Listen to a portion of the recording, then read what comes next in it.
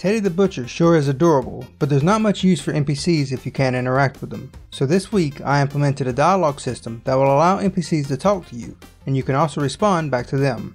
Howdy, and welcome to Game Endeavor, where I post weekly devlogs for my game Zoe and the Cursed Dreamer. I'm making a game where the NPCs that you encounter play a major role in the development of the game.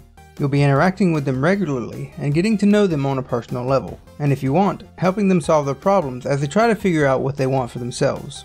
In order for me to create this kind of interaction with the NPCs, I needed to create an interface that allows you, the player, to interact with them. Which means I need a dialogue system where the NPC can talk to the player, and the player can respond back. But there are so many things to consider with such a dialogue system. How flexible do I want it to be? Do I want to allow for branching paths? How will I handle such tasks as Teddy the Butcher giving you a handful of cookies, or removing items and coins from your inventory to pay for a special service? I'm going to need a rather powerful system if I want to make this game how I envision it. Without a solid dialogue system, then my game would feel bland and leave the player without much of a way to interact with the game. So I got to work putting together the foundation for my dialogue system. Now if you've been watching these devlogs so far, then you may have noticed that there are some text boxes in my previous videos, but these were just a ruse, they were never real. I mean, they exist, but they're just a shell of an actual system. In fact, I was manually passing in the dialogue for each of these clips recording the video, and then moving on to the next one.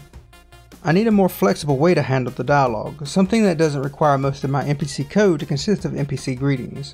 I want to separate the dialogue script into its own file and let the NPC tell the game which file it should use to perform the dialogue scene. For this, I decided to go with JSON files.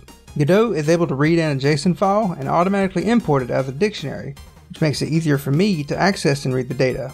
I can use this to store what the NPC says to the player, but also extra information for each section, such as who is speaking, the expression they're using while saying it, and what should happen in the game when they say it. I have defined all of these variables myself and assigned their function through the code.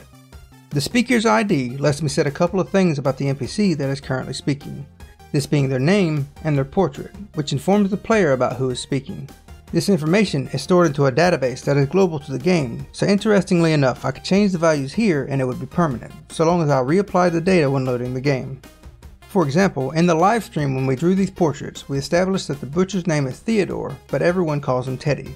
This is just an example, but I could set his name as Theodore when he is introduced, and then change it to Teddy after he explains this. The portraits are also stored here as well into the dictionary, which allows me to label each one to find easily later, in the JSON file, I can assign a specific portrait to play at the start of this text, which will display the NPC's current mood. This game will have a relationship system where your actions and what you say to the NPCs affects their disposition towards you. With this, I can make it so that they greet you differently depending on their mood by showing a different portrait. Teddy will always greet you eagerly though, because he is the embodiment of everything sweet and innocent. He could never be mad at you. I had a little bit of a meltdown over the text reveal though. Long, long ago, probably long before I even have a project for, I created a text reveal that I have been using up until now. It's not pretty, and honestly it doesn't even work sometimes, and worst of all, it could only be used on a regular label, but it was mine, I made it, and I was proud of it. I knew it was bad and that it needed replacing, so I decided to watch some other Godot YouTubers to see if they had gotten around to implementing this yet. So the first one I watched is Emilio, and he just sucker punches me right in the back of the head with this percent visible variable. Like, what is this? How long has it been here and why am I just now finding out about it? It's literally the first and second variable in the inspector, and it's as simple as dragging a slider to the right. I mean, yeah, I can't expect the player to drag the slider in the game to reveal the text, but it's a step in the right direction. So armed with this newfound sacred knowledge, I set out to recreate my text reveal logic in a way that actually works properly and it's really just as simple as creating a tween that interpolates the value between 0 and 1. The only thing to consider here is the timing, because if I have a piece of text that's 5 words long, and another that's a whole paragraph, and I set both of them to reveal in the same duration, then the shorter sentence is going to feel noticeably slower. To get a consistent time, all I needed to do was to divide the number of text characters by the number of characters that I want to reveal per second. I can get the number of characters by saying text.length because text is the plain text without any BB code tags.